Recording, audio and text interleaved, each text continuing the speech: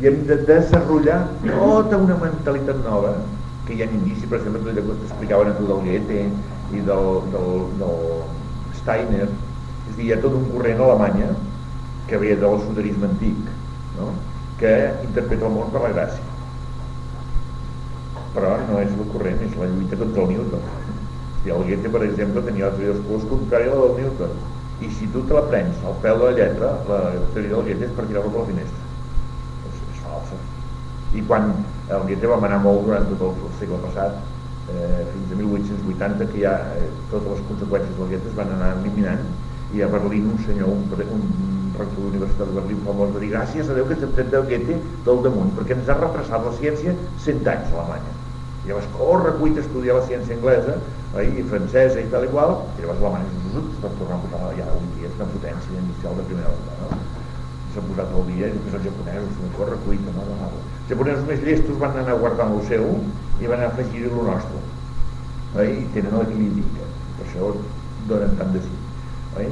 però eh, allà a Alemanya va ser pràcticament bandejat però tota la, la descendència de Steiner i d'altres que hi ha hagut doncs encara hi és, eh? encara hi arriba fins aquí, no? l'antroposofia, hi ha centres d'antroposofia per Barcelona i per Madrid, etc. I a més hi ha inclús bancs antroposòfics, hi ha mm, escoles de dansa, hi ha medicina antroposòfica, hi ha moltes coses. És a dir, que tot això, tot això, aquest món metafísic i després el físic, profètic i el món físic, sobretot el món profètic, és un món de gràcia, que s'hauria de renovar completament i hauríem de veure el profetisme en totes les coses no sé si, si això... Lluís, eh, en, en que tu dit que fessin alguna incidència, eh, bé, a veure, això és una mica fort, però per exemple, pot ser món profètic o profetisme, eh, per exemple, en Manson o, o, o sectes d'aquestes que són... Ho intenten, ho intenten.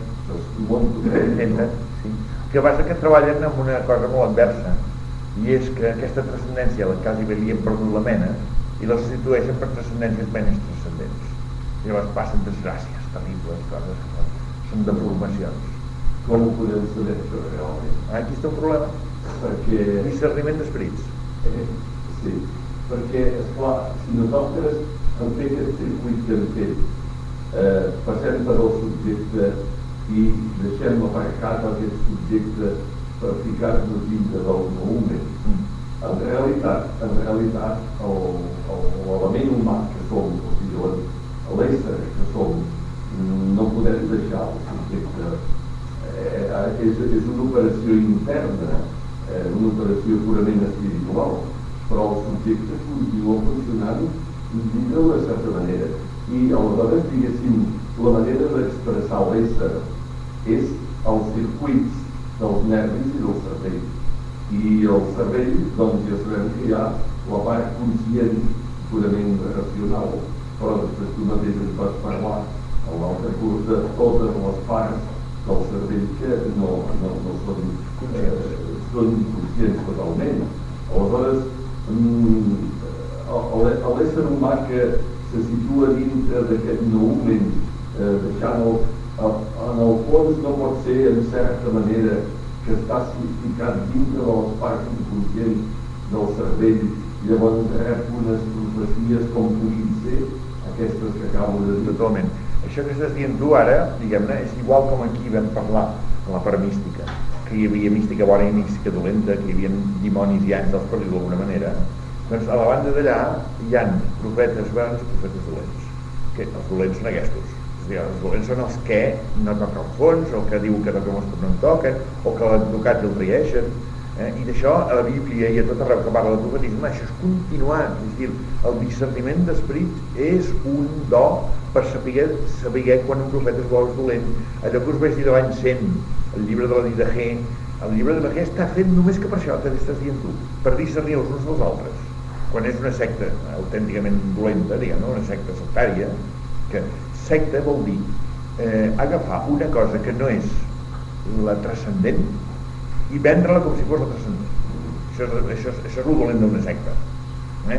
Per això, a la primera secta que se li aplica, a la primera entitat que se li aplica és catòlica del com funciona. És claríssim. Que la mateix, i vist des d'una part secular, i és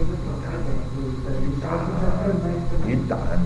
És dir, eh, és, és una secta tan grossa que si ella no li pot dir ningú. No entenc que dins de, de l'evolució de la mística on han arribat ara i dins de la Bíblia no, a veure, un moment, un moment. Eh, eh, tu estàs introduint una, una cosa, una, un tema nou, no? Perquè és que a mi el que dius m'agradaria que m'ho expliquessis una mica. Que, eh, tu dius que és el del discerniment de l'espírit, no? Per veure que on està una transcendència realment transcendent o no. I això tu és molt difícil, i saber un profètic que tal i si com tan predestinat perquè tu dius, surt un surt, no? clar, sempre estàs des del punt de vista de Déu, o sigui, de la mística o de la profètica, bueno, molt bé. que te hagin tots els filòsofs, sí, sí. no? Heidegger, sí, clàssic, tot Déu. Però continuem avui en dia pensant per parlar de la mística i de la profètica. Però jo, jo de la profètica no sabia res, eh? No, no, és que això... Sí, en la mística, però de la profètica mira, mira, mira, mira, mira, en el, en el paper que posava l'anunci d'aquest curs deia finalment, oferta poc usual d'aquest curs el combatut camí de tornada per l'altra banda. Ho diu així, no sé si ho vaig llegir tu en els papers que et vas rebre. Eh? És exactament això que estàs dient. És molt poc conegut. És poc conegut perquè és el que el poder li, li molesta més. Entens? Que un senyor dels germanets del pare Foucault es fiqui amb els tuàrecs i no digui res, això que faci el que vulgui. Però que vingui un profeta a tallacolls, això no els agrada gens. Explico o no? sigui que és natural que això estigui tapat. Eh? Que diguin que els contemplatius que es quedin contemplatius. O si cas que tornin, que tornin mansos. Enteneu? Però no que tornin eh, actius. Eh? És dir, Déu és una autoritat que el poder no l'accepta. Per tant, tot el que ve d'allà ho talla. I per això tu no ho saps. Però bé, anem, anem per pams. És dir, per què no treballem una miqueta aquesta sortida? És dir, aquesta sortida treballem una miqueta. I això en el Nou Testament està treballadíssim per la línia de, de, de, de, que, que, que anava a Sant Pau, que ell no és l'inventor d'aquesta línia, era uns altres i ell ho va prendre i es va convertir aquesta línia. Ell anava per una altra línia. Eh? Que això és el que se'n diuen els carismàtics, que és un problema perquè avui dia els carismàtics horripilants que són per mi molt sectaris, però eh, avui dia. Però anem per aquests carismàtics antics. Més dir. Sí, sí, però és que aquests antics, és que, és que a mi m'agradaria que ara passés el que feien aquests antics, no els carismàtics d'ara. Però bueno, estan inspirats en això, però per mi fan un circuit curt, entens? I per tant acaben sectaris. Però deixem, deixem-ho de moment. Anem a aquests i després veuràs tu que el que explico d'aquestos també es pot fer ara això que feien llavors. No? Hi havia dues tendències dins del cristianisme, la judaïsant i la helenitzant. És dir, la judaïsant era eh, alimentada per jueus convertits al cristianisme i la Nissan era per grecs convertits al cristianisme. Els jueus eren molt autoritaris perquè Judia era molt autoritària i llavors volien que els helènics abans de convertir-se al cristianisme es fessin jueus i de jueus passessin a cristians. Aquest era el problema que hi havia en el primitiu cristianisme. I això es va plantificar a Jerusalem molt d'hora. És dir, Jerusalem l'any 30 o 33, això va ser l'any 40 o 42, o abans, no ho sé. I llavors, és una mal pensada meva, que els judaïsants van denunciar en els helenitzants en els jueus, en les autoritats jueves. Perquè els judaïsants, els cristians judaïsants es consideraven jueus, fariseus, i cristians. Què vull dir? Era una secta jueva més. Una secta vull dir una tendència, un corrent. I ells seguien en el temple, seguien complint amb Moisès, seguien complint tot, i a més a més creien en Jesús. No? I els altres no. Els altres, els helènics, doncs anaven directament a Jesús i no anaven al temple, no anaven tal, perquè se saltaven la llei de Moisès van ser denunciats i van ser perseguits. I en, si llegiu els dels apòstols, la gent es pensa que és la primera persecució que va haver-hi, que va morir Sant Esteve, que és el protomàrtir que diuen, el primer màrtir. No? Esteve Estefanus, en grec vol dir coronat, eh? era un grec. I eh, no, no filo massa prim perquè no tinc temps, eh? però vull dir només una mica de línies eh, d'això, perquè no és que fos grec, era un judeu helenitzat, etc. Però deixem això. Era de, de cultura grega. I aleshores, doncs, les, les autoritats jueves no van perseguir els cristians, van perseguir els cristians helènics. I van matar cristians helènics, i van fugir tots els cristians helènics, però els cristians judaïsans van quedar tranquil·lament perquè algú els va tocar. I, I les males llengües diuen que són els denunciants. Ah, bueno, digues. Sí, no, com no? la que... És... O, o, potser una falta de secta, perquè escolta, seguir tota la llei de Moisès és molt més sectari. Dir que per anar a, a Déu s'ha seguit tota la llei de Moisès és molt més sectari que dir que es pot anar lliurement. Dic jo, no ho sé m'ho sembla, perquè Déu no té aquests condicionaments. Sí, però des del punt de vista de... Ah, sí, sí, evidentment. Evidentment, evidentment. Una secta. Una secta o pitjor. Eh? O pitjor, uns estrangers que es ficaven dintre, que sempre Israel estava contra Grècia perquè Grècia l'estava entrant per tot arreu. M'entens? Bueno, eh, aleshores aquests tios fugen a Damasc, que era el que estava més a prop, aquest Damasc que ens hem trobat d'Aram. Eh? Fugen a Damasc. I a Damasc funden la primera comunitat cristiana helènica, purament helènica eh, eh, ja explicaré coses molt bones eh? abans d'això, abans d'aquesta denúncia ja passaven unes guerres entre jueus i helènics a, a Jerusalem i només els, les, el, el menjar i tot això era pels aquests, aquests no, i llavors van tenir els diaques i, bueno, no i se'n destruïren un diaca eh, doncs se'n van allà. I allà van fundar una comunitat que no tenia ni bisbes ni sacerdots, ni preveres ni diaques ni cap cosa d'estructura jeràrquica eren unes persones que quan volien es reunien i allà dintre hi havia una, un acte d'èxtasi col·lectiu eh, com pot tenir un individu sol. I aquest èxtasi col·lectiu es manifestava míticament per tota classe de coses, per exemple tocar la flauta, la guitarra, el timbal eh, cantar, resar poesies, música tot el que volgués, cadascú feia el que volia. Però no feia el que volia feia el que li dictava l'esperit. I la convocatòria no era fixa. No era missa diumenge. No era missa de diumenge. No hi havia autoritats. No hi havia eh, ritus. No hi havia sacraments. No hi havia llei. No hi havia res. Sacraments cap, eh? Ni el baptisme ni l'Eucaristia.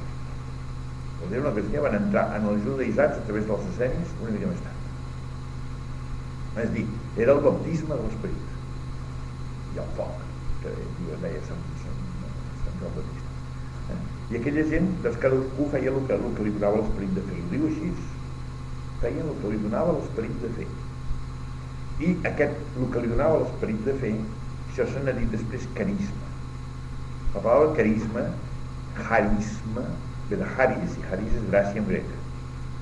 Per tant, carisma vol dir la cosa graciosa, la cosa que et surt de gràcia. Fixeu la importància de la paraula gràcia. Eh? Els carismes són el que et ve de gràcia de fer, sense pagar ni cobrar, ni manar ni obeir, ni res de res. Eren comunitats horitzontals. Llavors, aquesta comunitat practicava el cristianisme d'aquesta manera. A Jerusalem es practicava de la manera jueva.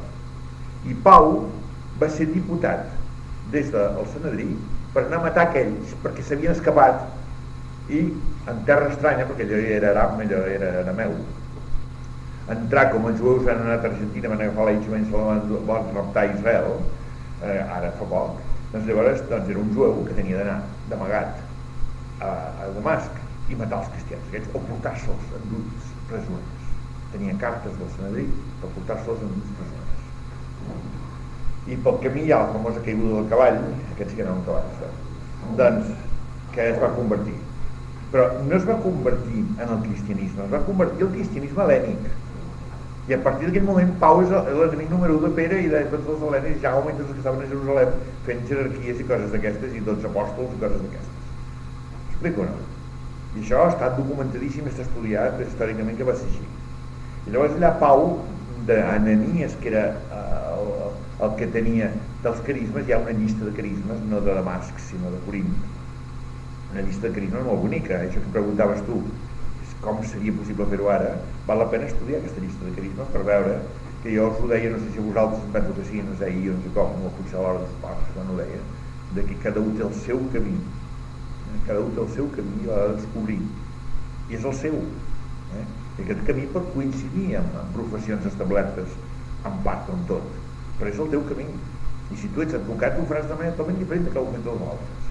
I si tu ets no sé què, o, o comences per advocat i acabes per mestre, o comences per mestre i acabes per metge, o, o, o fas un camí nou que no té cap nom encara, o el que sigui. I això és el carisma.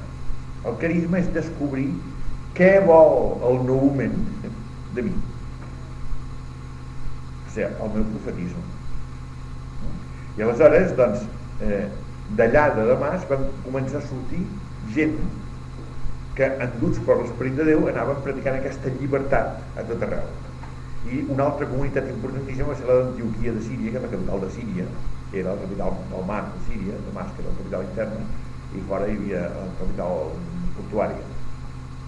I Antioquia de Síria que era molt més ric i molt més grossa que Damas allà es funda una altra comunitat que també està als fets dels apòstols i allà diu que no hi havia jerarquia. No hi havia jerarquia. I en canvi estava plena de carismes i allà va anar a Pau també. I d'allà va fer els seus viatges. I tenim molt escrits de, els escrits dels viatges de Sant Pau però viatges n'hi havia per, per, per vendre de molts. Bernabéu i Marc i Lluc i tots. Tots aquests eren tots, tots apòstols lliures. O profetes, o doctors, o mestres o hi ha una llista, o curadors, eh, hi havia metges, diguem també carismàtics, hi havia de tot. No? En el fons ens està dient, busca dintre de tu mateix la teva vocació i desenvolupa I si tu, en comptes de fer el que toca fer per fora, que et manen fer, o el que estàs obligat a fer, fas el que et surt de dintre, tens tota la força de Déu a favor teu, tota la llum de Déu a favor teu, però et matarà segurament, perquè t'entreposaràs en els camins dels homes i no et deixaran passar el xas. Per això ningú ho fa. En canvi hi ha l'adjectiu carismàtic, la persona que, que té una gran especial que s'endú els altres. Sí, sí. No? Sense voler el sol fet de, d'actuar com actua. Sí, s'endú els altres, però llavors pot ser un sectari si instrumentalitza els altres a favor del seu carisma. Ara, si endur-se els altres vol dir animar-los a que cadascú faci el seu camí, llavors és una carismàtica. La diferència. La diferència. No, però es diu en el sentit contrari. Es diu en el contrari, és dir, el Hitler era carismàtic. En canvi, doncs, el Liebknecht, que era el jefe dels comunistes d'Alemanya, que no era gens carismàtic, o la Rosa Luxemburg, que era semicarismàtica. No? I llavors, per què va guanyar el Hitler? Perquè era més carismàtic. Però allò és fatal, allò és sectari. Però a vegades sí, en situacions, en situacions de que es necessita un papà per als nens, sí. És dir, si hi ha un lloc molt infantilitzat i es necessita un papà, doncs és estupendo que hi un carismàtic i se les arrossega tot. Però si aquest carismàtic s'aprofita d'aquest poder que té per tenir-los sempre infantilitzats, és un sectari. Això són regles de discerniments d'esperit. Eh? De totes formes, si no, si un carismàtic que és el davant d'aquesta persona que pot treure les altres, és que la societat li pot pagar. Sí per lletges, per abans, per, per... Ho fa pagar. La societat li fa pagar perquè sembla que té com un poder, com la comunitat. No, no, és que jo crec que és part de l'autoritat d'un poble. És dir, jo, en el meu programa que tinc de, de societat perfecta, a més del poder legislatiu, del poder executiu i del poder justicial, ha el poder carismàtic. Els quatre, els quatre, que un presideix una cosa d'aquesta, una altra cosa, una altra cosa, una altra cosa, una altra cosa.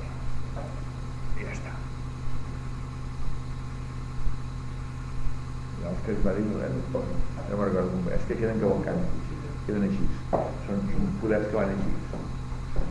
Però, vull dir, el món psíquic social és l'intimitat de la comunitat. Enteneu? Que això és ja el, el legislatiu, això hi ha l'executiu. Eh? Aquí hi ha el justicial estructurat, i d'aquí surten els carismàtics. I llavors els pobles, igual com reverencien o respecten l'autoritat, no?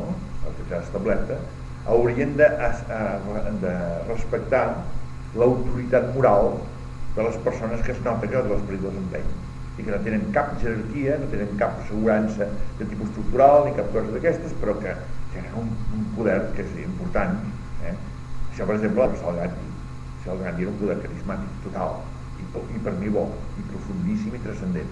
En canvi, el Hitler, que també és carismàtic, és un desastre per la humanitat. I això és discernir els esperits però eh, com que no sabem discernir l'esperit doncs matem l'esperit mireu, manera de no tenir dubtes ens matem a tots això és allò que em vaig dir que és difícil. Això és un sex sentit, és una cosa que necessita maduració.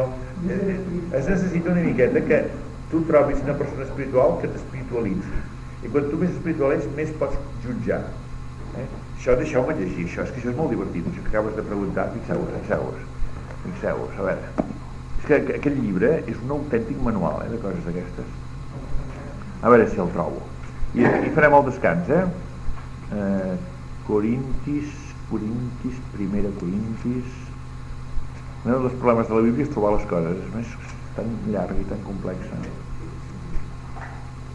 A veure...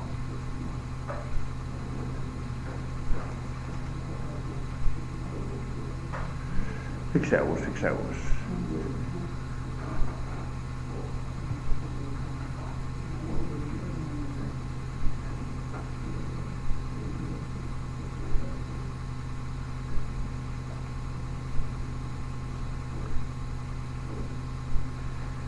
Dice, yo hermanos, cuando fui a vosotros, que no de Corinto, lo diu San Pablo, no fui con el prestigio de la palabra o de la sabiduría, aquí diríem de la veritat, a anunciaros el misterio de Dios, pues no quise saber entre vosotros sino a Jesucristo y este crucificado.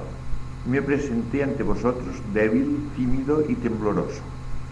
Y mi palabra y mi predicación no tuvieron nada de los persuasivos discursos de la sabiduría, dels grecs, eh, l'oratòria de Demòstenes i això que això en Corint estava tocant Atenes sinó que fueron una demostración del espíritu més clar no pot eh?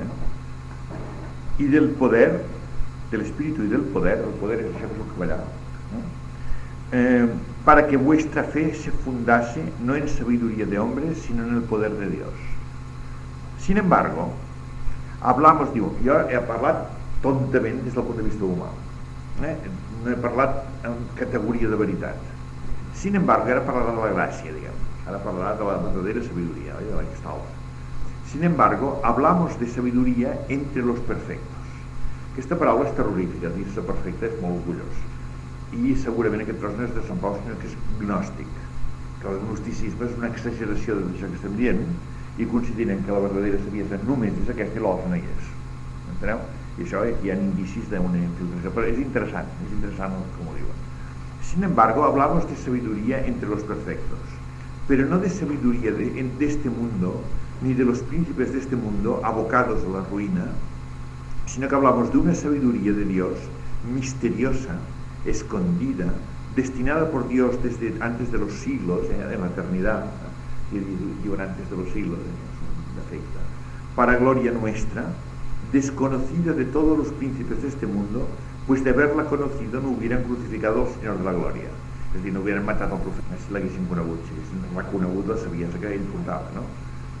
Más bien, como dice la Escritura, anunciamos lo que ni el ojo vio, ni el oído oyó, ni al corazón del hombre llegó, lo que Dios preparó para los que le aman. Està parlant de la mística més profunda.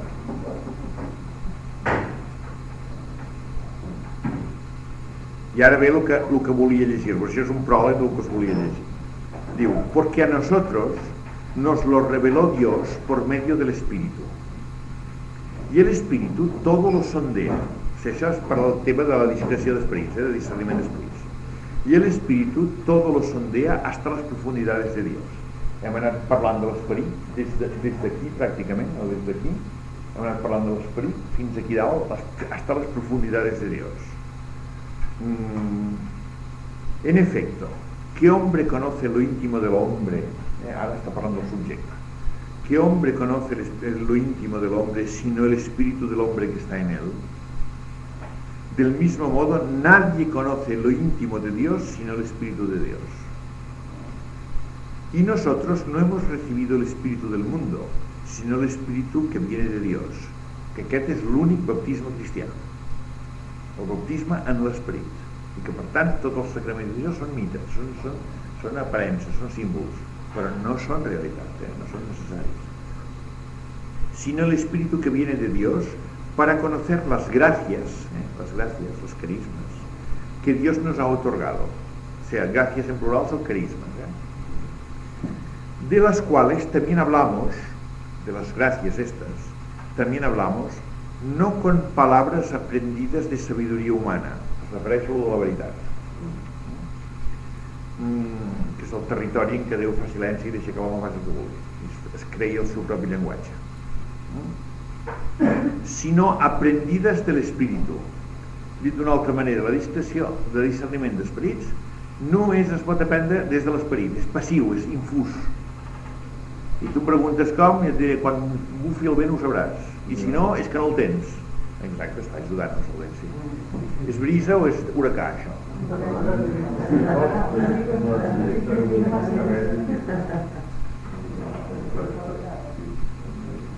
Sí, deixeu-me fer un petit parèntesi que se m'ha ocorregut ara, un petit parèntesi. I perdona, perdona Imma que t'ho dic, que ho digui, això és que és una conversa que vam tenir privada ahir i ara jo la faig pública sense demanar-li permís. Però eh, protesta, dic, no diguis més, eh, si dic alguna cosa inconvenient. No, que ell em diu que la seva vida nota que cada vegada és més enduta, és més portada, que no és ella que la decideix la vida, que li va, se li va plantejant les coses es va, i li surten de dins i es que no hi fa Bueno, és que això és el, això és el profetisme no sé vosaltres, jo m'he trobat en la vida fent coses, eh, les famoses vagues de fam, i jo, jo, jo ni me'n vaig enterar que les feia, ni, eh, les, em trobava fent-les. En un moment i en canvi altres moments no, en aquell moment no és el moment Eh? els profetes, una cosa molt bonica, quan, quan prediquen, ve el rei li pregunta, escolta, em diguen què diu Déu sobre tal cosa. I de sobte el profeta li contesta, avui no tinc paraula de Déu. Ves que fan.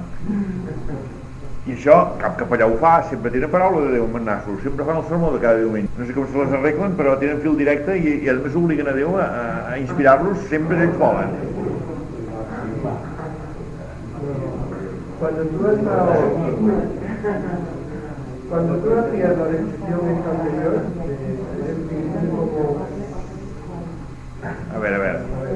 A ver, que ahora hay mucho carisma aquí. Sí, hay carisma. Ebullición. Quería decir... Parlar, parlar, parlar, que Déu, no, no us talleu, no us talleu. Digues, digues. Quería decir que en la descripción de las personas de 10 minutos sobre cómo exactamente lo mismo que acaba de decir, eh, ¿sabes qué pasa? Yo siento también eso durante mucho tiempo. Sobre todo cuando toques el tambor. Y bueno, también. Sí, sí, clarísimo, clarísimo, clarísimo. También, mira, eh, mira, ahora dentro del tambor y hay veces que toco y, y me doy cuenta que no soy yo el que toca. Y yo antes me parecía como fantástico, como una cosa que, que te pasa, ¿no? Sí. Que, pero no lo es así. Ya que me lo Te dejas poseer. No lo iba a decir, pero lo. Y hay otra cosa y es que no se suele reconocer eh, a nivel social que acabas de decir, porque está mal visto. Está mal visto que, que tú te, te gloria cuando te dejas guiar en el guiado. Y eso es verdad. O sea, yo ahora digo bien, porque el ambiente es lo adecuado, nunca lo digo, pero yo creo que... El problema es que te puede guiar el Espíritu de Dios o te puede guiar un dictadorcito cualquiera. Perfectamente claro, así es. Así es. Entonces, eh, y hay mucha gente que se cree profeta y está dictando a los demás lo que tiene que hacer en la vida continuamente. ¿sabes? Y entonces vas descubriendo una serie de cosas que te vienen, no que te gustan, ¿no? Y mientras menos busco, más me viene. A mí me pasa eso, ¿no? Mientras menos busco, mientras menos pongo yo de, de, mi, de mi, más bien. Y mientras más me avanzo, pues Esto es lo que, esto es lo que decíamos del trato del, del parasimpático y del ortosimpático, que has de dejarlo, entonces él lo hace. Tú tienes que ir de visita solo, esperarlo. ¿eh? Como decía que Franco cuando llegaba a una, a una provincia, ¿no? pues avisaba con tiempo y ahí inmediatamente lo arreglaban todo. ¿eh? Él no tiene que hacer más que decir que iba. Pues tú también además tienes que decir que estás allá y entonces te llega. Y si no te llega, espera. Y este, este espera que no te llega es la noche, la noche en infuso, la noche pasiva. Esperada. Muy bien, muy bien. A em passa quan, per exemple, escric algun poema, eh, que saps que jo ho sé ja. tinc una rapidesa bastant gran però malgrat la rapidesa i l'experiència que tinc de la meva rapidesa, sí. però quan jo començo tinc tota la sensació que seré incapaç de, de fer-ho. A mi em passa per, eh, quan vaig venir aquí a parlar de mística, igual. Una sensació d'incapacitat total, no va de broma, no? no? I pateixes horrors. Venia ganes d'anar-me'n cap a Cádiz. Va. Com el Jonàs.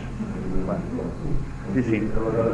Però ara fixeu-vos com això, tal com ho he plantejat ara últimament, ja ressona molt més tot el tema aquest profet. Al principi semblava una cosa estrafalària, però a principi semblava una cosa estrafalària, això del profetisme, però no ho és tant, eh? està, està operant per ahí. Per ahí. Mm, diu, fixeu-vos això, la forma de dir-ho, diu, dice, nosotros no, no, hemos recibido el mundo sino el Espíritu que viene de Dios para conocer las gracias que Dios nos ha otorgado. Si conocer les gràcies vol dir discernir els carismes, eh, vol dir això. Eh, de las cuales también hablamos, de estas gracias, hablamos i, i per tant no és inefable tot això místic, no és inefable, es pot parlar, ¿eh? de las cuales nosotros también hablamos, no con palabras aprendidas de sabiduría humana, sino aprendidas del espíritu, expresando realidades espirituales en términos espirituales. Jo dic que és el que és graciós, però potser el que és veritable. O que les realitats espirituals requereixen termes espirituals. El hombre naturalmente no capta las cosas del Espíritu de Dios, son necedad para él. ¿eh? Es lo que deies tú, deia tu, que no l'acepten.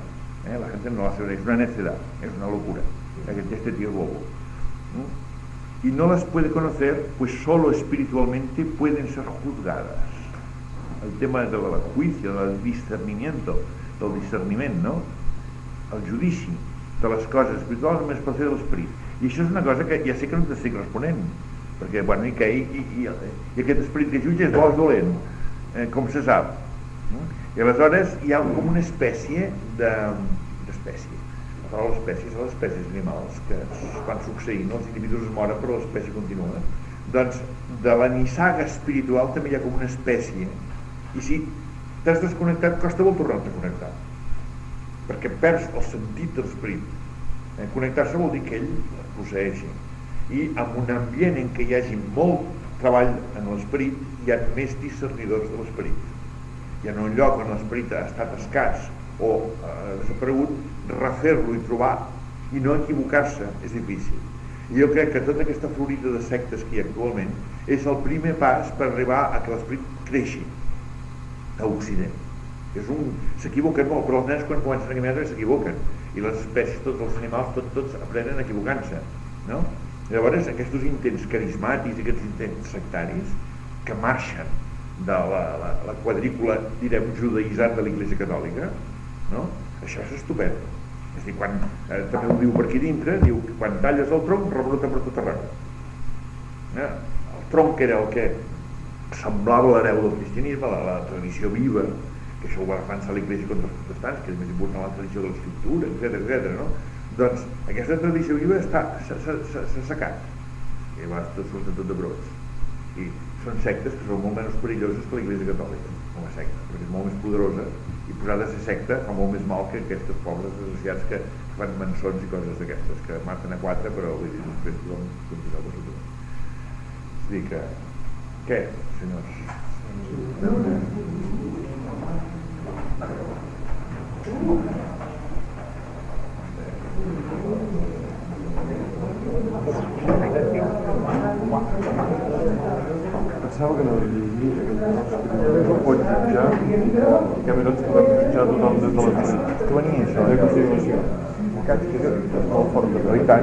sí, no llegirem, llegirem, llegirem. És molt veritat. Però dona molta força. Que des de l'esperit tot ho pots, no? Exacte gràcies de dir-me això, perquè realment estava... ¿Y yo no felicitar a ese hombre? Sí. Porque anoche no. Ah, sí. Cuando no estaba. Todos pelillos. Todos pelillos. És que sí, no preparé les coses, és que el llibre, vaig juntar ara un llibre per Hem de prendre l'aire una mica. Que deixem quart més o menys, no? Ah, sí, no ho hem dit, no ho hem dit. Eh? Quan es torna? A la media. Va, a la mèdia, va, a la mèdia. A la mèdia, a la mèdia. Que s'acaba abans de dinar o, o després Abans de dinar? dinar, abans. Abans.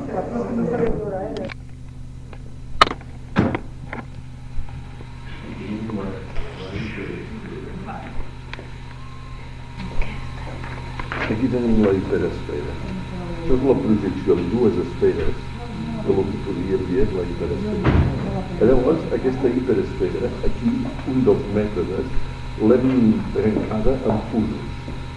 I aquests fusos eh, agafen aquest, tots aquests conceptes, ho veus que tenen diferent color, perquè tenen diferents categories. Això s'hi ha arribat a través de quantes dialèctiques. El, la primera dialèctica està en verd, els que s'han arribat a la, de la primera dialèctica, que conjunta dos temes. Doncs per això és molt llarg. Eh? Llavors, veus? Sí. Veus? Per exemple, concretament, el que estem fent ara és aquest curs només. Aquest curs de la mística que agafa, eh, això, aquest curs va, va així, així, perquè aquí veus que hi ha subjecte, subjecte, i aquí anem de plasma món, que de plasma món va així, és en una altra di- direcció, m'entens? I llavors,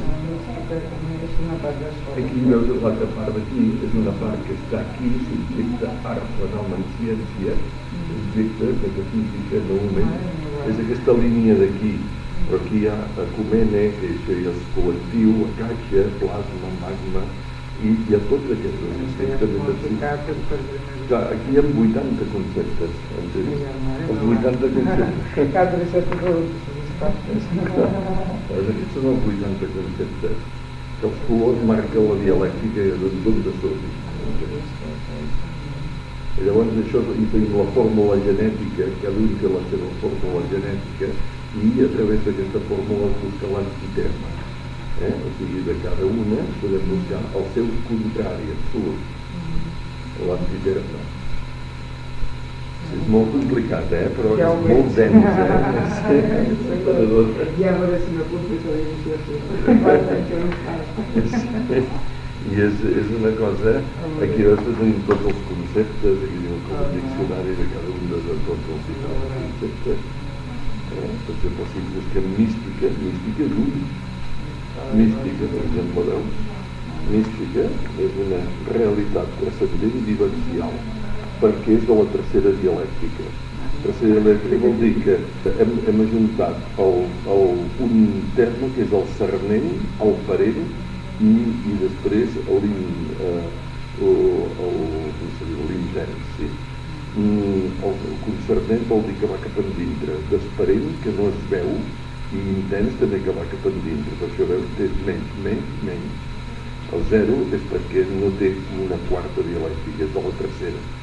Sí. I veus?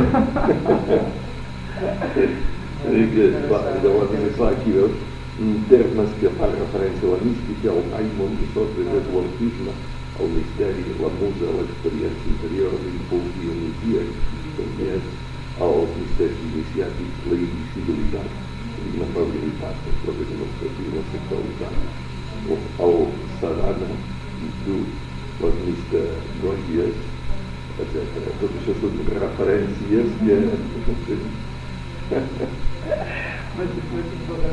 Ja tornarem a agafar la física, que susto.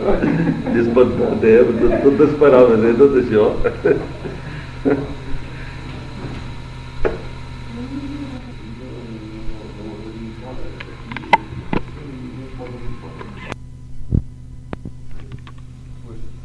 únicament interfereixen i continuen essent dos però estan en un sol és el critical, és el tribut és la trinitat, etc.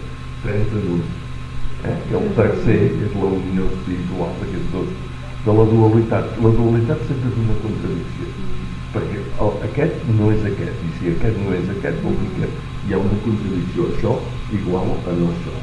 O sigui que estem més però aleshores aquí continua sent Bosònica. dualitat però Bosònica. i el seu bosònica ja no hi ha contradicció.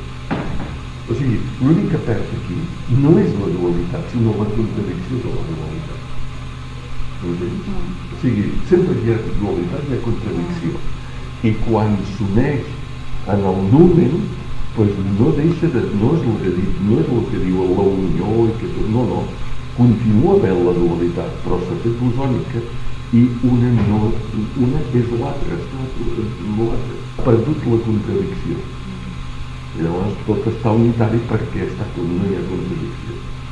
No el que dic, i llavors hi ha contradicció és, és topat amb, amb aquest esperit de la creació, l'esperit de l'univers. Aquí parla de Déu perquè fa com un referent la Bíblia, però posem qualsevol religió, doncs l'esperit que informa l'univers, la creació, el més enllà, la transcendència, el que no sabem, doncs tot aquest misteri està aquí dintre sense contradiccions. Llavors aquest misteri et permet de tirar enrere i portar part d'aquest misteri amb tu, que, tu, que sempre és un misteri, però que sempre pots tornar-hi a buscar-ne tot més, o bé t'engega cap aquí amb, amb funcions ja profètiques i que aleshores ja no saps I qui ho fa que que cap Ah, aquí? no, i- Però ja s'interté una relació amb... Són obsessions, això jo li he dit. Dic, Ah. si nosaltres som el subjecte, que encara que siguem aquí que hem perdut el subjecte, però el que no hem perdut és el cervell. Hem perdut la part racional del cervell. Això és el que volia dir. Però la part, la part eh, que no és racional del cervell, que ell ens va explicar que n'hi ha moltes que funcionen per ells sols, nosaltres potser ens fan funcionar aquí. Mm. I aleshores això sí que és inútil, això no pot deixar de funcionar, perquè som nosaltres, nosaltres no ens podem, nosaltres existim materialment.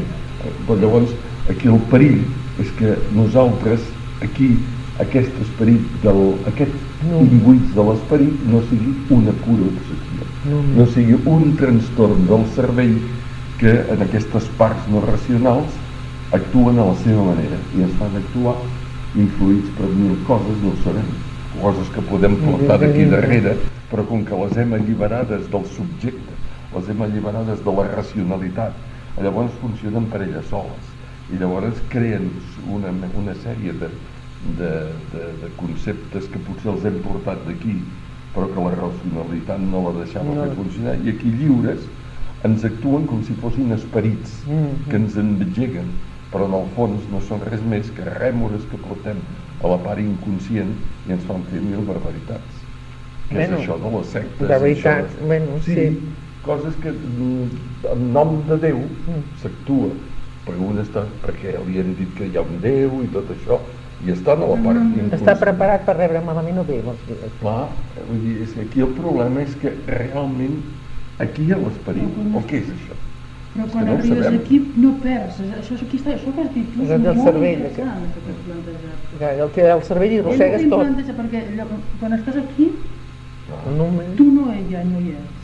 No, jo no hi soc Però com a hi ha- subjecte, com a subjecte conscient, però hi ha parts Però- inconscients però i poden ser aquestes inconscient. parts Ah, inconscients que exacte. es podrien estar llançades cap Ah, aquí exacte, i si no exacte. És, profetes és això el que jo deia. com- Això és el que jo plantejava. Això s'explica. Jo, jo ho penso però no ho sé. Sí, home. Mm. O és ja hi ho És plantejat, això, és això, això, el que volia el- dir. el. I llavors ell va dir, diu, doncs això és només el- l'esperit, el discerniment espiritual que ha de dir. Bueno, si és un bon el profeta, un bon profeta. es farà des d'aquí, de- però el discerniment- desenvolupant. No, perquè diu que és l'esperit només que pot discernir. Perquè en el moment que volem Bueno, però discernir... qui ho discernirà? Això ho discernirà els corredin, que no sé per on, per la mandarratera. Sí, però ha de ser una persona Els que també estigui imbuït de l'esperit. I si està l'esperit, doncs no té raonament. El nom. És que és una contradicció, perquè si tu estàs imbuït de l'esperit, no tens racionalitat, no tens subjecte, per tant no hi pot haver discerniment. Però aquestes parts que has dit, L'únic ja m'ho que explicaràs? en això, de dir si estàs dintre de l'esperit, automàticament has perdut la part Sí, conscient perquè del estàs subjecte. dintre I del... el discerniment no és res més que una acció que fa el cervell conscient, discernir, pensar. Perquè pensar què és És això? una cosa mental. Per tant, si nosaltres volem discernir, valorar si és bo o és dolent, hem de conservar una part racional Clar, del cervell. com ho pots fer, doncs? Aleshores, si no conservem... Bueno, però vull dir, jo està ja he simplificat una mica l'exposició perquè es complica molt. Hi ha moltes dimensions que tenen aquí si de tractar. Clar, clar, és el que jo deia, perquè Bueno, jo veiem una mica... això, per exemple, per exemple, això és el que les iniciacions es busca les iniciacions es busca iniciar no solament el conscient, sinó també l'inconscient. Inconscient. I si no, si no, es, eh, s'inicia l'inconscient passa el que tu ara m'anaves a dir. Sí. M'entens problemes. És a dir, que, que va desfasat una cosa o l'altra. Sí, sí. M'entens que vull dir que amb el conscient tu ets una cosa però l'inconscient no, no l'ets. Per això, per exemple, en la pastoral primitiva està estudiat, això ho han descobert alemanys fa 30 o 40 anys. En la pastoral primitiva cristiana hi havia la conversió a la fe que era un acte conscient, que ara podia ser quasi momentani, podia ser un canvi de mentalitat momentani. Després t'havia de fer la revisió d'això que tot és a Cristo. I això és el que feien en el catecumenat, però que que durava molt temps, perquè revisar tot això era molt difícil, i a més tenien unes tècniques especials per fer-ho. I a l'Orient tenen unes altres. És dir, si no segueix la iniciació per la via sota de sota, llavors la persona es desconverteix. Sí.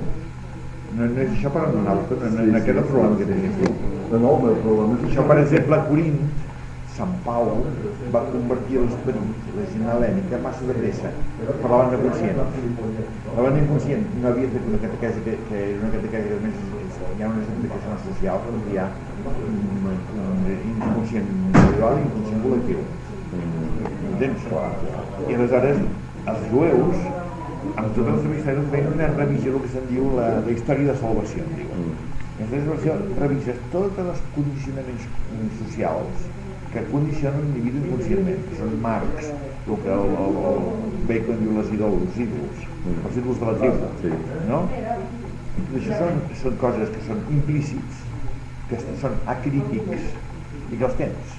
I, i revisar això costa un horror. arrossegues i no saps que ho Exacte. amb tu. Això és una, part de la iniciació que és difícil i que és profunda. Que si no es fa, doncs... Et penses que tens una inspiració divina, el que passa que Exacte. tot allò que portaves en el teu inconscient Exacte. se't mostra... El Gandhi, per exemple, parla de seguir la petita veu silenciosa, però ell ensenya com s'ha de fer per tenir la veu silenciosa. Llavors, tot el seu sistema d'iniciació que tenien els dos. Que revisen, revisen coses, tot allò que us vaig dir, te'n recordes de la respiració, sentits, tot allò de, de, de, de, de les posicions, del ioga, tot això és per revisar coses d'aquest tipus. Eh?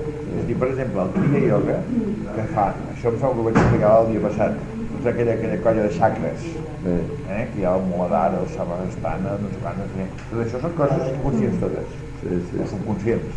Eh, I tot això s'ha de revisar S'ha tot. de revisar. Per deixar-ho net, també. Què? Per deixar-ho net, perquè no t'interfereix. exacte, exacte, perquè l'esperit se'n possessioni del tot això. Sí, sí, tens tota la raó, si no si es revisa això com una espècie de passatge i el que es pensa que és una cosa és una altra. Sí, llavors com surt tot aquest sexe, Clar, sí, sí, sí, sí, sí, sí. Sí, no, això, si de cas algun coneixement ja el faré ara, això que acabes de dir, perquè és interessant. El que passa és clar, que la cosa és molt complexa i en una, un fi de setmana no es pot fer un cop tanta, tanta... Sembla, però no, no pot ser tant. Llarg. És que clar, i estem Jo tractant... tinc la mania sempre de fer cursos d'un any, com a mínim, o, de És set que, anys. és que amb, aquí la sí es pot desenvolupar. Aquí, aquests set anys han estat fent Bíblia. Set. Set anys, clar. Eren fins de setmana, mm, tres o quatre l'any, durant set anys. Però intensos. Mm. Sí, però això és llarg perquè eh, tant la complexitat de l'individu com la complexitat de la societat com les implicacions entre la complexitat de la societat i de l'individu. Això requereix unes revisions impressionants. No sé si vosaltres us sentit alguna vegada les vigílies pasquals, les noves.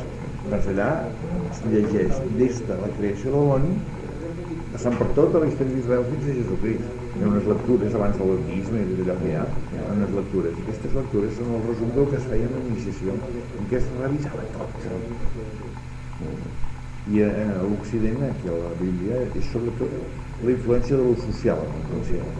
I en, en l'Orient, el ioga, sobretot la influència de, de, de, de l'inconscient individual, que és molt més profund que el Freud. A l'Orient amb aquest tema és molt més profund que el Freud. El que és molt interessant, si et sembla, Sí. si tu pots fer-ho, és ara que el que va insistir i madurar aquesta idea del profetisme, de mm, al costat de la part bíblica, si pots posar alguna cosa de profetisme, per exemple, eh, oriental, perquè aquest camí sembla que només sigui la cosa bíblica. Sí, però és que l'Orient se cuida poc, perquè l'Orient s'ha quedat una mica com aturat en la contemplació, tot, tot l'Orient. No hi ha gaire Els, profetisme. els únics que tenen profetisme i encara no ho saben massa són els confucianistes, els del Confuci.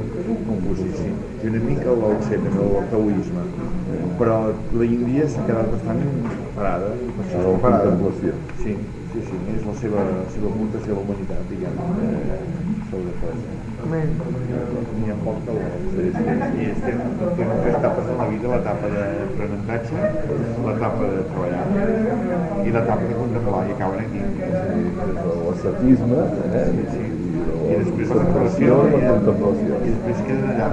I la gent vella marxa de la casa, encara que sigui un gran industrial, o sigui, plega de tot, deixa els fills i se'n va caminant.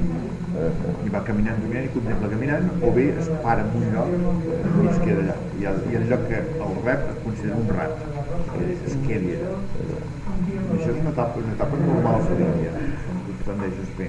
Ara avui dia no tant perquè a l'Occident no es comprèn. Sí, aquest aspecte extern del contempador és una mica com un llenguatge profètic per al poble que el rep, no? Si el que tenen ells de profètic per indirecte durant tota la volta és que són místics de la matèria, un de la matèria. místics del cos. O sigui que tota aquesta part del místic del la tenen més treballada. Sí, l'esperit agafa el cos. Que no agafa tant és la- l'acció social, la vocació, tot això. Això no, no. Sí, sí.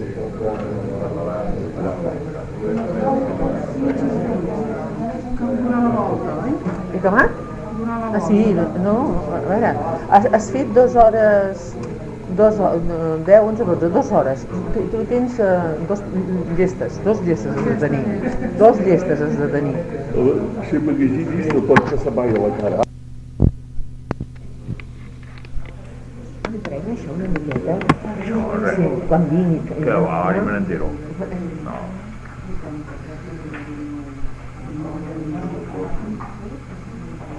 Sí. Oh.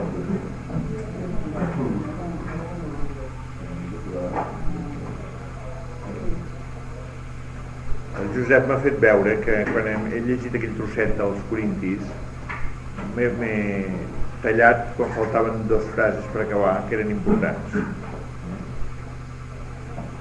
Y deia, el hombre naturalmente no capta las cosas del Espíritu de Dios, son necedad para él, y no las puede conocer, pues solo juzgadas.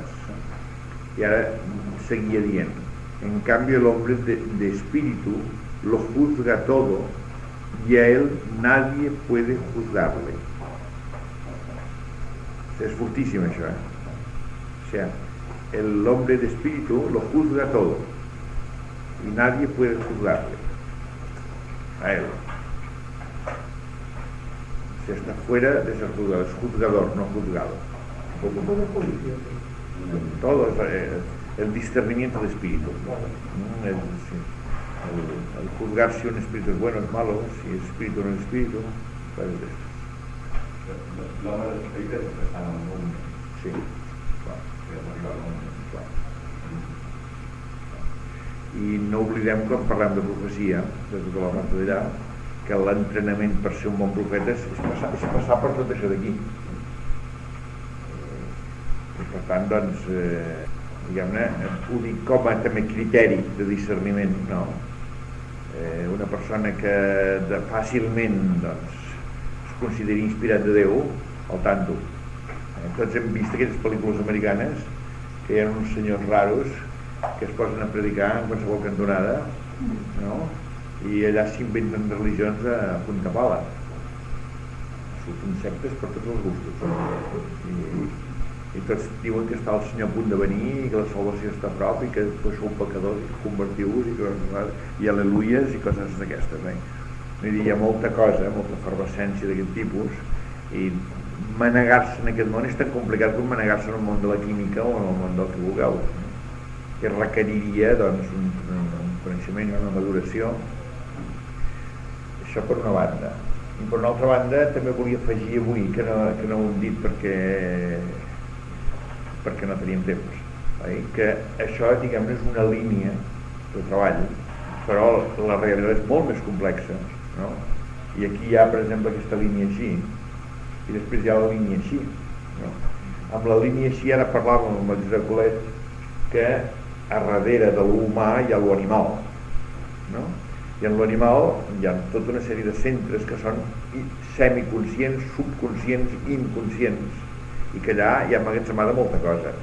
Si aquells nivells baixos diguem-ne més inferiors a, en el nivell de consciència humana no es treballen també la iniciació pot passar que quan arribes a profeta doncs conscientment et pensis que és profeta però el que estàs fent no és seguint l'esperit sinó seguint les coses del subconscient que estaven instal·lades allà i que no han tingut cap revisió. M'explico o no m'ho vull dir? Confondre una cosa amb l'altra. El Gandhi per exemple i el Gandhi és molt interessant des del punt de vista d'iniciació ara ho hem de deixar perquè no tenim temps i a més potser en parlaré bastant a fons amb una altra, és una altra, una altra falca publicitària eh? És de la- de l'any que ve hi ha un, un, un fi de setmana d'aquestes com aquest que es titula La no violència, que és el de tardor precisament, és el que vindrà després de l'estiu, no? I en el de no violència parlarem d'això, de l'iniciació gatllana. Mm? Doncs, però a part d'això el Gandhi té una sèrie de, com si diguéssim, un decàleg, i el primer principi que té és servir la veritat, diu ell, servir la veritat. Ell no parla mai de no violència, parla molt poc de no violència, parla del que en diu satyagraha. No violència en sànscrit es diu ahimsa, i satyagraha vol dir la força de la veritat. Satya és veritat. I graha és fort. Ahimsa és no violència. A, himsa. A, no, i himsa, violència. La paraula IMSA vol dir no violència. Betakit, exacte. Betakit que es deia IMSA una sèrie de coses, eh? Bueno, doncs ell parlava de Satya Graha, que vol dir la força de la veritat. Ell diu que no és no violent, el que passa que té la, la força que li dona la veritat. Però llavors quan ell defineix la veritat no la defineix en el sentit occidental, la veritat. Veritat occidental és, una, és, un, és un enunciat únic, sempre o ser universalment vàlid i necessàriament vàlid. Una llei física, no? Això és la veritat. En canvi, per ell la veritat és tot el contrari. La veritat diu s'ha de descobrir en cada moment i en cada situació, s'ha d'estar sempre despert a l'acció de les coses del món i a l'atenció de l'esperit. I el que aquell, eh, després de, de, de seguir, d'estar ben informat i de seguir l'esperit, el que surt allò és la veritat per ell, que és el que no hi ha ni gràcia. És igual, no? Llavors, eh, ell parla del servei de la veritat i diu que és una petita veu silenciosa diu, és curiós, és com allò de Sant Joan de la Creu dice mi soledad sonora no? pues eh, l'altre diu voz silenciosa no? que és una espècie de paradoja no? la petita veu silenciosa que tots portem dintre la de la consciència és la veu de la consciència, sí el que passa que ell insisteix en la consciència il·lustrada perquè hi ha fanàtics oi, que no s'il·lustren, que no, no, no, no toquen a peus terra, que no veuen el que hi ha a la vida eh? i llavors només és el seu caprici per dir-ho d'alguna manera, el que ells volen i, i trepitgen tot i tal, no? això no, ell diu que és ell és globalista en aquest sentit eh? i té la veritat interna i la veritat externa per dir-ho d'alguna manera però sí, és la veu de la consciència és la síntesi que fa la consciència de tota la informació externa i de tota la informació espiritual per dir-ho d'alguna manera no? això seria eh, aleshores eh, ell diu que aquesta petita veu silenciosa li ha governat la seva vida i que diu que quan una persona la segueix s'enfila i s'envola dalt de tot i tots seríem com genis si seguíssim aquesta veu i que la gent està esperant sempre tenir una oportunitat de desarrollar la seva vida enveja tal personalitat o tal altra personalitat i resulta que la tenim la força dintre la força de la veritat, eh? la Satya Graha eh? i seguint aquesta cosa tots podem ser una meravella una meravella no vol dir que tinguem èxit públic ni vol dir que tinguem molts diners no vol dir que ens sentim realitzats que es diu ara no? plenament no? Amb, amb màxima felicitat i màxima plenitud però ell deia és com una font i les fonts moltes vegades si no les cuides si no fas un dipòsit i poses la, la cànula aquella i una distància tal perquè el lloc on, on cau l'aigua perquè no es barregi l'aigua que cau amb l'aigua que, que ve de, neta de darrere i tal i qual doncs la, si mires una font que no està cuidada pots confondre-la amb un toll d'aigua bruta i no donar-te que allà hi ha una font perquè brolla, però com que hi ha fang per allà i se desabarreja doncs queda una espècie de toll d'aigua no? i ell diu, normalment la gent internament té un toll d'aigua brut eh? i s'ha de cuidar que és tota la iniciació, no? perquè separar l'aigua neta que ve de l'aigua que s'embruta després, doncs per quan salta, i aquesta aigua és la que eh, és la, la veueta silenciosa. Per tot això són prou. I en la tradició cristiana això s'arreclava amb un catecumenat molt llarg i molt profund que també és molt interessant, però que no tenim temps de tractar-lo. Això de, de cara a la dimensió aquesta, no? Que hi ha el problema de la, del subconscient individual, hi ha el problema del subconscient col·lectiu, i el problema de la societat, de la influència de la societat, és a dir, que l'individu, que només ens hem limitat una mica al nivell individual, no? doncs s'hi troba. Després hi ha aquesta, aquesta coordenada d'aquí, que també és important, perquè hem posat, com si diguéssim, la profunditat màxima en Oumen. Aquí. Però eh, això és una cosa molt culta. Els que saben una mica el model saben que aquí posem la pràctica aquí i aquí hi ha l'esperit infantil aleshores hi ha espiritualitats i tradicions això és, un, és tot un manllar i aquí posem teoria i aquí posem pràctica Aleshores hi ha tot això d'aquí, que tot és concret, això és abstracte, no? que de les diferents tradicions posen aquesta, aquest punt de profunditat en diferents punts. Eh? Per exemple, Sant Joan, Sant Joan Evangelista, ell és un senyor que discrepa una mica dels altres evangelistes. Eh? El quart evangeli és diferent dels altres tres, és el sinòptic, sí que és el quart. Després hi ha tres epístoles de Sant Joan. No? I en totes elles ell diu que Déu és amor. Per ell l'amor és Déu. No? I aquest tema de l'amor és un tema que haguéssim pogut dedicar-nos a ell sol. Tinc un treball que, que me'l va, me vaig fotocopiar d'un lloc, que el vaig trobar, sobre aquest, aquesta mena d'amor, no l'amor humà, tranquil, corrent, que és una altra història de tipus psíquic, no? Eh, sinó aquest amor transcendent, eh, que en, en teologia i inclús en, en Bíblia doncs, en diuen caritat, eh, per distingir-lo de l'altre. Doncs aquest amor és interessantíssim, oi? per exemple, aquí plantejar-lo de dir és possible estimar sense contrapartida? Sense cap contrapartida? Doncs si s'arriba a entendre això, s'arriba aquí. I això és, és la mateixa categoria que això, eh? a, la, a la mateixa profunditat i la mateixa categoria, i a més és més concret. Hi ha gent que eh, doncs s'ha donat en els homes d'una manera total. Oi? Inclús hi ha sants, diguem que s'explica que eh, resant amb Déu, dialogant amb Déu, li han dit si tu em manes que vagi a l'infern per amor teu jo vaig a l'infern tota l'eternitat o sigui, això és una espècie de joc mental no? però, però, però vull dir la intenció de, de, que es vol dir amb això no? de la puresa d'aquest amor no? és a dir que per aquí podríem parlar també d'una gran profunditat i una base diguem-ne de profecia per aquests nivells d'aquí diguem-ne, no? que no ho hem deixat una mica i hem seguit aquest no?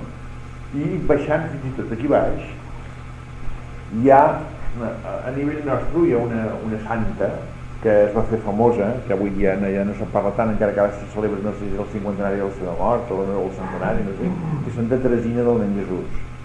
I aquesta doncs, va escriure un llibre que es diu Història d'una ànima i allà defensa l'espiritualitat que se'n diu d'infància espiritual. Eh?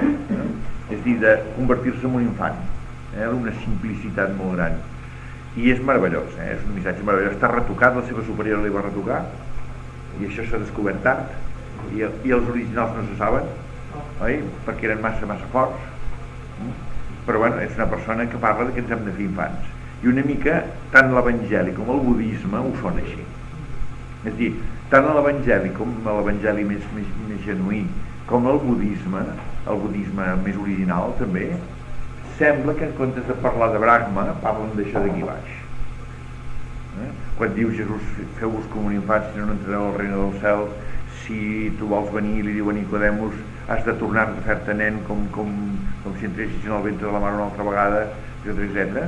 Eh? és una forma de venir aquí que això diguem-ne és, és, eh, sí, és la, la síntesi diguem-ne de tot però simplificada eh? que és la, la infància. Eh, això, qui més bé ho té tractat és el Buda. És dir, a diferència del moxa, la moxa és l'arribar aquí dels indis, l'alliberament entre iberians. Eh? Doncs els budistes parlen de nirvana. I el nirvana, a mi em sembla, és una opinió meva, que s'ubica més bé aquí que allà. Això vull dir-vos que és molt ric tot això.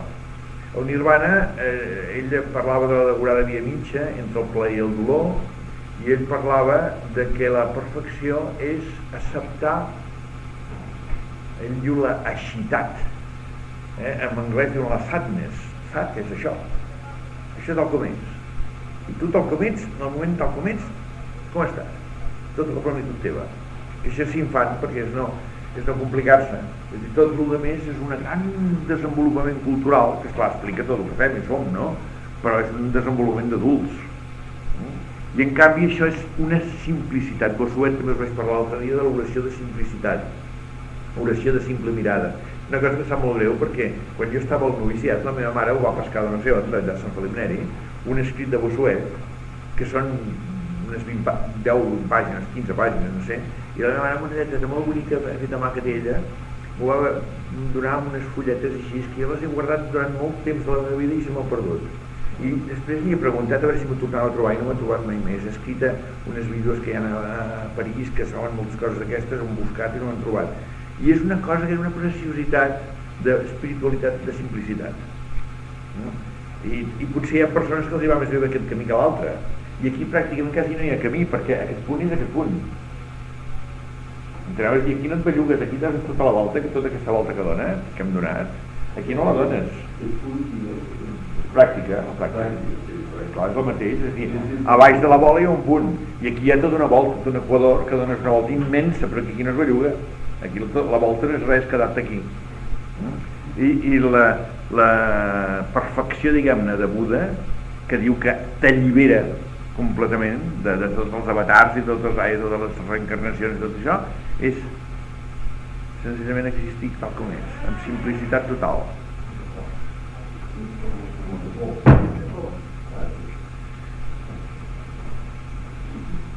En canvi, doncs, per exemple, pujant per dalt, cap a dalt, doncs, a damunt de Noumen posa síntesi, que allà és el territori que en diem nosaltres de la saviesa. No? I és arribar a la perfecció per mitjà de la saviesa. I la saviesa no és la ciència. La saviesa és aquesta, aquest, el coneixement de la gràcia. No? I a l'Índia hi ha vies, el Jnana Yoga, per exemple, doncs, va per aquí. I inclús més amunt la teoria, no? jo passo una mica per sobre perquè ens hi passarem també un altre lado tot el matí per això no? la teoria doncs mm, des de Plató eh, que diu que les idees són les que salven oi? ell arriba a la mística per les idees no? en el Fedre és claríssim que ell té eh, en el Fedre hi ha trossos místics molt bonics oi? i ell ha arribat a través de les idees després de Plató van haver-hi platonians que el primer va ser Filó d'Alexandria el segon important va ser Plotí, i aquests són els que introdueixen la noció de verb, eh?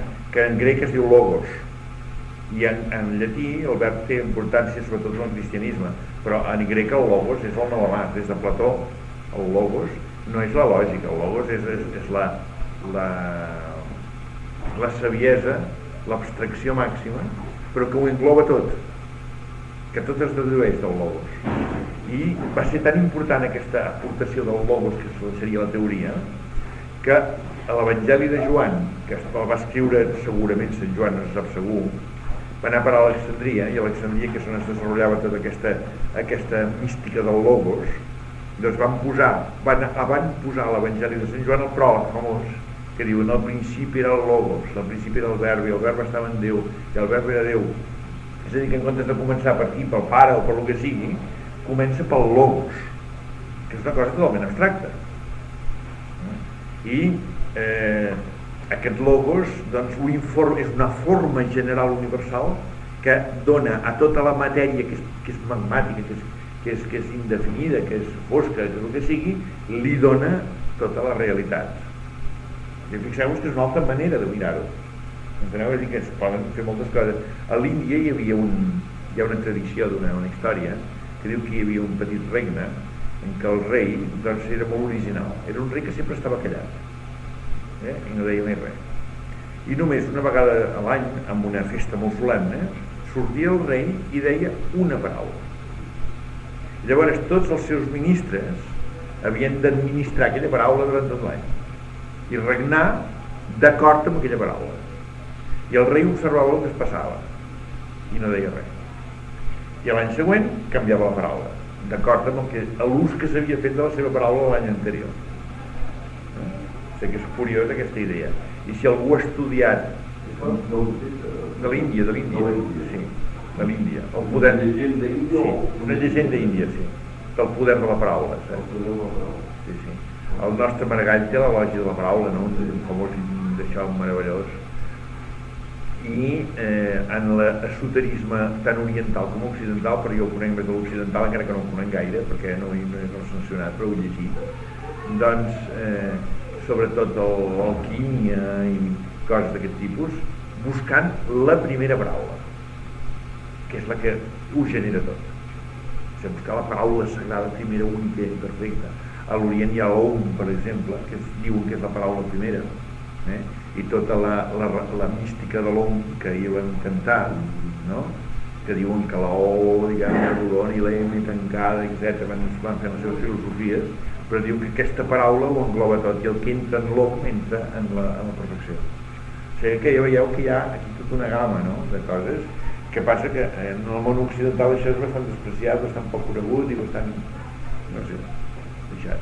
Ah, Això que has dit abans del nirvana, la Sí. part de la pràctica, eh, que és el camí més, eh, aquest, diguéssim, en el camí nou podria ser, podria ser l'estoicisme, un camí del nirvana. L'estoicisme s'acosta, s'acosta. L'estoicisme ve de, de la idea de la felicitat, Sí, no? sí, de l'ataràxia. Sí, sí. De la, de la serenitat, de la felicitat i de la, de la no, muta- mutació. No. Doncs eh, sí, l'estoïcisme, és dir, la, la postura estoica davant de la vida, però, per exemple, eh, en aquell temps que va sortir l'estoïcisme també va sortir l'epicureisme. Sí. I l'epicureisme també s'assembla amb això. És que és, és normal. Home, no, són contradictoris l'un a l'altre. Eh, Aparentment sí, però Bueno, bueno. Doncs eh? si tu veus això, llavors estic d'acord que entre tots dos fan això. Sí.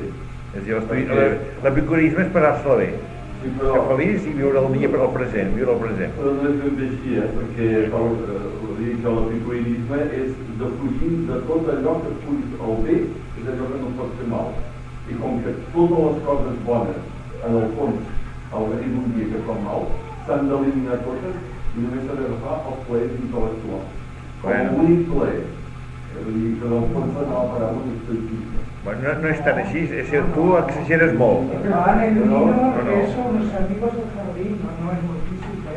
No, no, sí, no, eh, vull dir que... Eh, Jo crec que fa un, fa un gran elogi de lo intel·lectual, però, però és també l'altre, eh? Sí, de lo, de lo sin No. complicarse.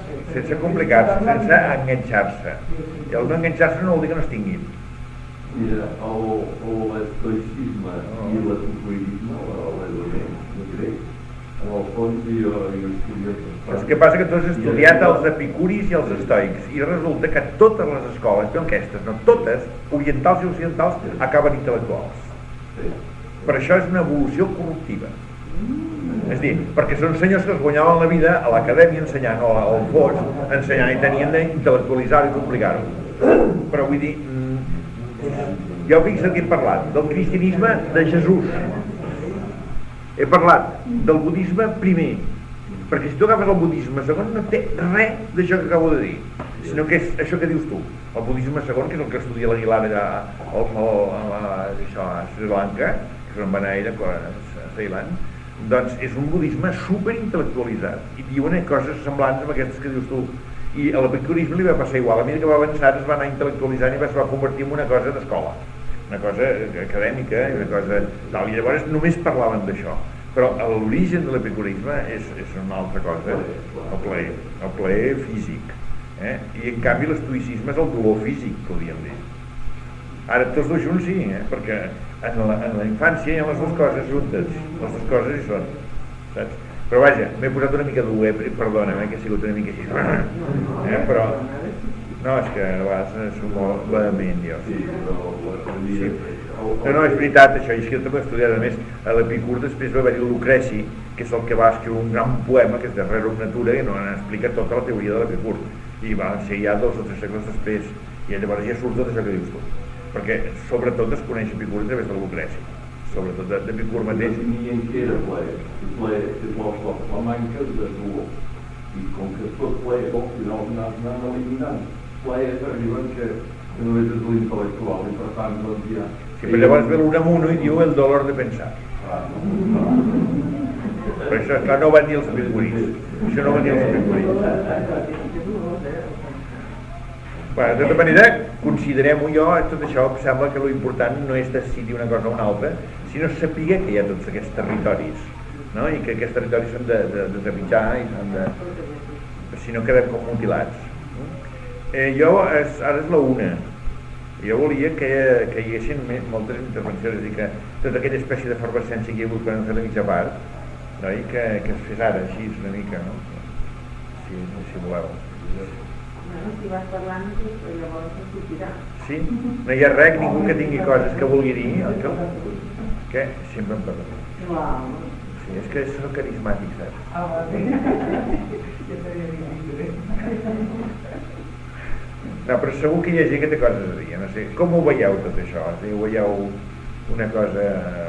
Sí, has parlat de Gandhi com a, a línia tenia per dir la veritat, no? Sí. I també hi ha un que que digui la veritat és per lliure. Jo penso que encara que no es pugui tocar, ni es pot definir què és la veritat, però sí que intuïm i hem viscut que quan segueixes la veritat, en contra de tota la resta de l'any, doncs d'alguna manera ets lliure. I també l'Evangeli ve molt clar quan diu no ets digne de mi si primer ha la dona, els fills i els que és molt fort també, no? És aquest tu sol davant de Y eso no sería un poco también más totalmente lo contrario de orgullo de que plantear a Dios, esa libertad misma que.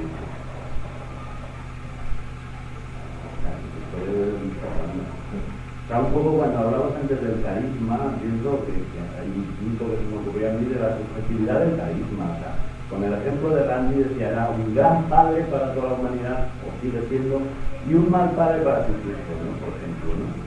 E- ese, ese puntito ahí, ese puntito ahí de subjetividad de- de- del carisma y de todo lo que estamos hablando, ¿no?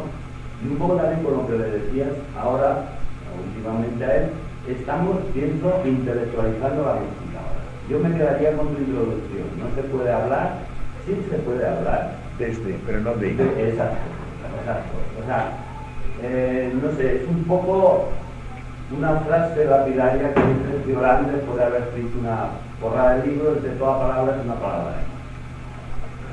Lo- me quedo con él. O sea, un poco estamos Excepto esta. corrompiendo... Que toda palabra es una palabra, un momento, que toda palabra es una palabra de más, también es una palabra. Y tú te has quedado con ella, por tanto, ya no es de más. ¿Me entiendes? O sea, esto es el problema de la palabra. Sí. O sea, un poco, o sea, vamos a, a- a la explicación de las cosas, o sea, al fondo, porque Sí. quizás tendríamos que quedarnos en silencio Sí. puro. Bueno, pero piensa una cosa, ¿eh? que lo- la teoría de los mapas. ¿eh? Los mapas sirven, sirven. Lo que pasa es que solo sirven si no te los crees. Si no te crees que el mapa es la realidad. Si tú me dices que todo esto es intelectualización de la mística, es clarísimo que lo es. Y una, una- una- un dibujo, que es un trozo de papel. ¿Entiendes? Ya no está el Congo belga, ya no está Canadá, sino que está la intelectualización de Canadá y la intelectualización del Congo belga. Pero pues tienes que ir al Canadá, si quieres si te interesa el Canadá. Entonces esto ya quedó claro ayer, me parece, ¿no? Que de todo esto que decimos son mapas y lo que interesa es que cada uno pruebe a ver si es o no es. Y de hecho algunas intervenciones que han habido por aquí demostraban que la gente eh, pasaba la vida, digamos, iba del mapa a la vida. ¿entiendes? Los mapas son buenos, eh, excepto si viene otro mejor, ¿eh? pero solo para, para indicar eh, territorios de exploración. Pero no son los territorios de exploración, no lo son, de ninguna manera. Entonces, de aquí no tenemos que salir contentos de que ya somos místicos, ¿eh? sino que esto es una cosa que nos permitirá hacer la mística, ¿no? Lo que pasa es que yo estoy bastante tiempo de las instituciones colectivas oficiales, la espiritualidad y todo esto. Entonces en mi vida me he dedicado mucho hacerlo solo. Entonces he cogido un hábito de solitario que hace que aquí ahora yo no sepa demasiado, ¿entiendes? Eh, hacer no explicaciones racionalizaciones, sino hacer un poco de experiencia mística. Una prueba fue que ayer por la noche, tú estuviste en la, en la de esto, prácticamente la gente le costaba hablar. Y además muy bien que quedase si no, si no le sabía hablar bien, ¿no? Estupendo. Y quizás necesitaríamos, como dices tú, más tiempo y después a ver si sale algo. Y si sale, que salga. Y el salir algo ya es profecía. Son palabras importantes, profemi. Pro, palabras de pro, podríamos decir, eh, es hablar, no es hablar de pro. ¿no? Pues que la gente o calle o hable desde el espíritu, ¿no? no del espíritu, sino desde el espíritu. Y esto se tenía que hacer. Y entonces esto se podría hacer eh, en particular, cada uno, recuperarse este fondo interior y después actuar en la vida como le dicte este fondo interior y o colectivamente, en grupos de, silencio, este, este compañero lo hace desde hace tiempo con otros, ¿no? pues hacer grupos de silencio Y en, este silencio sí florece la palabra o, o la acción. ¿no? Tradicionalmente se habla de palabra profética y de acción profética. En la Biblia hay ejemplos de acciones proféticas preciosos, que el profeta solo hacía y no decía nada. Cada uno que lo interprete. Los quants de la, del, del, del, zen, son eh, o palabras, o frases, o acciones. Un bofetón es un quan en un momento determinado, dado en unas circunstancias determinadas. Y eh, se explican ejemplos de esos, ¿no? Los practicaban. Y son acciones proféticas sin explicación profética. O sea, es lo que yo llamaba, recordáis ayer, la expresión libre, total. Con palabra o sin palabra, expresión extraverbal o verbal. Todo esto estamos muy lejos de, expresarnos en la vida de esta manera. Y tenemos que aprenderlo. Y no lo aprenderemos hablándolo solo. Tiene que practicar. Cuando tú decías que cuando tocas el tambor te expresas de esta manera profunda, pues ya es un ejemplo. Todos somos unos reprimidos porque tenemos una serie de cosas profundas. Lo que pasa es que, claro, somos reprimidos porque tenemos dentro, además del espíritu, otras cuantas cositas más, ¿no? Y también nos asustan nuestras cositas. Eh, lo que pasa es que tradiciones de limpieza, que todo esto es la estética y la mística. Y todo esto eh, se ha perdido bastante la tradición la tenemos que recuperar. Igual como vamos recuperando las hierbas y vamos recuperando otras cosas, ¿no? Pues también. Una, una, pequeña observación que se me ha ocurrido cambiando ya un poco de tema es que en esta casa se, se enseña astrología, se enseña astrologia en aquesta casa. I a més s'ensenya per una gent molt interessant i molt profunda. L'Albert, que no sé com se diu de cognom, i, algun, i aquella noia que se diu, aquella noia Teresa, es diu Teresa, no sé què, Teresa, bueno, és igual. I algun més, hi ha alguns més, formen un equip que, que investiguen. Eh, L'astrologia és a l'astronomia el que la profecia és la ciència. És a dir, l'astrologia és mirar els astres amb gràcia. Això és la meva opinió, eh? I l'astronomia és mirar-los amb ciència, amb veritat, amb matemàtiques. Eh? La química és mirar la matèria amb matemàtiques. I l'alquímia és mirar-la amb gràcia. A l'edat moderna, al descobrir la ciència, aquesta matemàtica, al descobrir la importància que tenia, es va negar tot l'altre. I hem estat tres segles de racionalisme que s'ha aplicat a tot, inclús la medicina, tota química, eh, tot intervencionista, tota mecànica, etc. Avui dia, després de tres segles de racionalisme, que això no es pot explicar massa, tampoc és molt llarg, però avui dia, del segle XX, la gent no ho sap massa, però a les altres esferes s'ha criticat el racionalisme. I el postmodernisme, el racionalisme el modernisme, que és el mateix, la modernitat que diu. I ha sortit el postmodernisme, la postmodernitat, per intentar superar-ho, s'ha intentat negar, oi? però al negar-ho tornes a caure amb l'altre, que, que negaves abans. I aleshores avui dia s'està arribant a una espècie de compromís entre guardar el racionalisme però salvar totes aquestes coses perdudes. I s'està recuperant una altra vegada l'alquímia, l'astrologia, la medicina natural i totes aquestes coses, no? I això per mi és positiu. I eh, doncs aquí a aquesta casa hi ha aquest servei i aquesta cosa que és interessant. Inclús tenim programat una mica unes trobades d'investigació d'això, diguem-ne, de la relació de l'alquímia i la, i la no l'alquímia, l'astrologia i les coses de la ciència, no? Quan aquest estiu faré aquest curset de ciència que dura una setmaneta, serà només a les tardes i hem decidit que al matí faríem aquest treball d'investigació a un grup reduït. No, no és una cosa oberta, diguem-ne, per si algú tingués molt interès no podia ser-hi, no? Però, però teníem de treballar aquestes coses. I eh, es recuperen moltes coses, moltes, inclús per exemple tota la democràcia de, de representació a base de parlaments i de, i de votacions i d'eleccions, campanyes electorals, tot això de la societat ha fet perdre coses de la mitja que eren bones, eh, com era per exemple la vida de família, de barri, de municipi, de comarca, eh, els gremis, totes aquestes coses, que eren coses que tenien aspectes molt positius que s'han perdut totes. I s'ha de tornar a recuperar tot etc. O sigui, jo crec que una de les coses interessants eh, i a nivell pràctic és això que ha dit del, els grups col·lectius de treball Sí. perquè estem acostumats a trobar-nos incòmodes quan estem amb altres persones i no hi ha res a dir, o no, o no diu res. És quasi una falta d'educació. Sí, Eh, I s'ha de dir, no bien, bien, eh? I diu unes, unes comodines així, es diuen, eh? Per, per morir.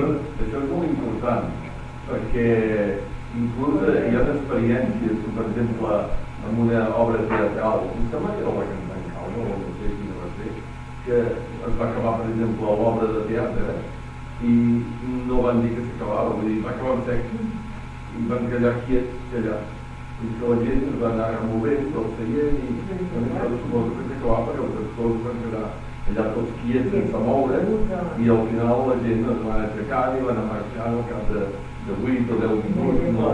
Però es va crear un ambient dolent, no sabia què dir, si t'aixecaries, no t'aixecaries, perquè no la gent estava allà quiets, eh? Vull dir, aquestes experiències sempre són molt vàlides perquè fer-nos adonar de que... En, en aquest sentit, el, jo, jo sé puntualment això que dius, eh? si s'hauria de fer, jo ho he fet al llarg de la vida en diversos grups, això. Eh, el gregorià, per exemple, és una música que surt del silenci i acaba en el silenci. En canvi, la música clàssica fa uns començaments i uns acabaments que pam! perquè es noti que és acabat. Llavors tothom aplaudir a omplir allò, no? Però s'avisa de que allà no, no segueix res més. I en canvi la gregorià se't queda així. Eh, I després quedar en silenci tranquil·lament. És dir, neix del silenci i mor en el silenci. Sí, sí.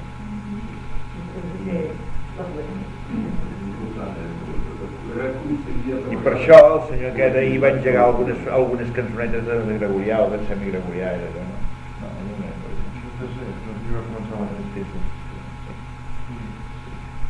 Però fixeu-vos la recuperació del gregorià, l'èxit que té el gregorià, no? I això, això que ara ja no saben de ti i no, hi ha litúrgia i tal, però gregorià és una meravella, és una verdadera meravella i, i la gent li agrada encara que no l'entengui. A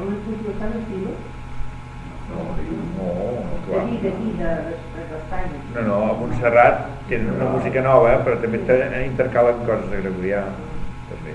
Però realment s'ha perdut el voler traduir la litúrgia al llenguatge corrent, doncs no s'adapta a la música amb el gregorià i s'ha tingut d'abandonar el gregorià i fer una altra música, per cuita.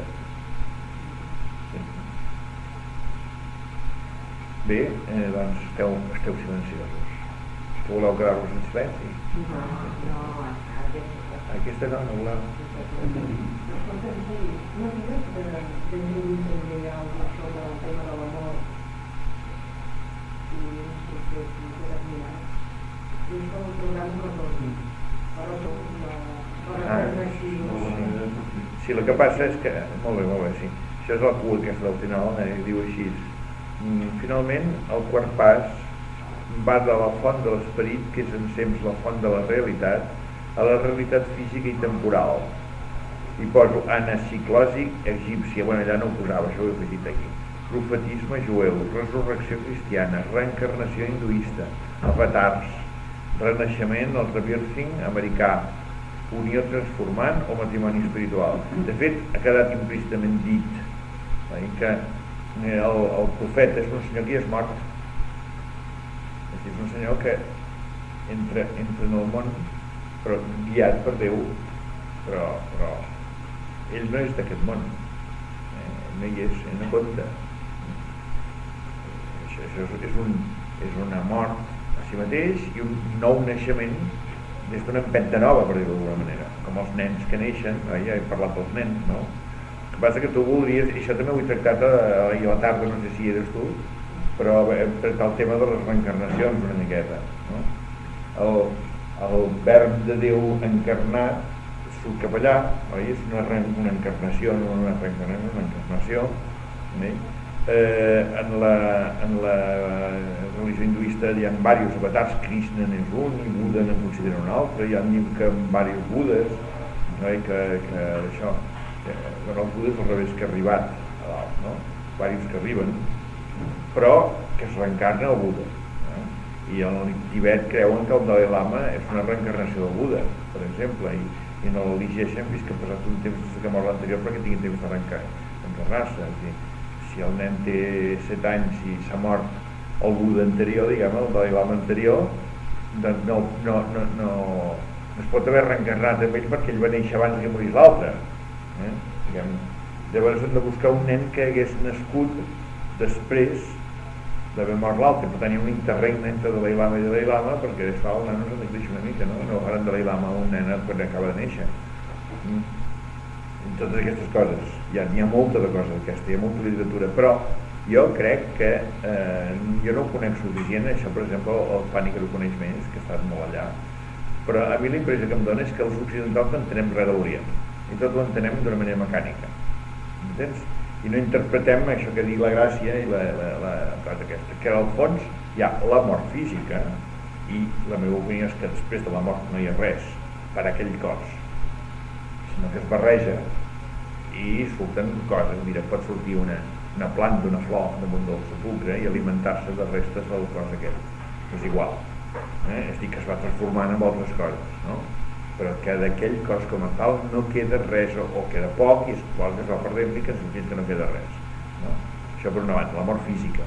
Però llavors hi ha aquesta retirada cap a l'eternitat que permet entrar i sortir, és dir, però no de la manera física. És dir, segur que si és que hi ha esperits que ja n'hem parlat abastament durant la tarda no? doncs hi ha entrades i sortides en l'univers el que passa és que no tenen la pruïja de la propietat que tenim a Occident. I llavors clar, en vez de saber si sóc jo és un altre no sé si m'entens, si vols identificar identificar et pertanyen a aquest món, a la veritat d'aquest món la identificació, el principi d'identitat és d'aquest món, no és de l'altre, l'altre és el principi de no identitat. Precisament, és la mort de si mateix per tant la desidentificació